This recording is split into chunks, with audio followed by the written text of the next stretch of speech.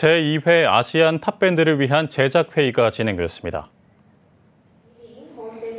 광주 MBC와 인천관광공사가 공동 주관한 제2회 아시안 탑밴드 제작회의는 베트남, 몽골, 필리핀 등 아시아 6개국을 초청해 진행됐습니다. 코로나 팬데믹 기간 온라인으로 진행된 첫 대회와 달리 올해는 오프라인으로 인천 상상 플랫폼에서 2회 대회가 펼쳐질 계획입니다. 음악으로 하나 되는 아시아 라는 주제를 가지고 시작을 했습니다. 어, 제2회 대회도 아시아 음악인들이 함께 즐기는 축제 그리고 한 마음 한 뜻으로 서로 하나가 되는 그런 음악 페스티벌이 될 수 있도록 노력하겠습니다. 다 같이 아시안 탑밴드에서 어, 멋진 곡들, 멋진 퍼포먼스로 다 같이 실력도 많이 향상되고 멋진 무대 보여드려서 좋은 곡도 같이 만들고 재밌게 했으면 좋겠습니다. 다 같이 파이팅 합시다.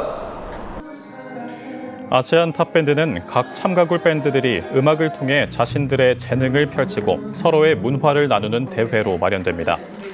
한편 CTS 필리핀은 아시안 탑밴드를 통해 크리스천 밴드가 필리핀을 넘어 폭넓게 활동을 펼칠 기회의 장을 만들어가고 있습니다.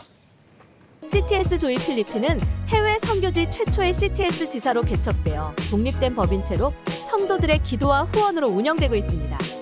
해외 선교지에서 영상 선교 사역이 지속될 수 있도록 함께 동역해 주세요.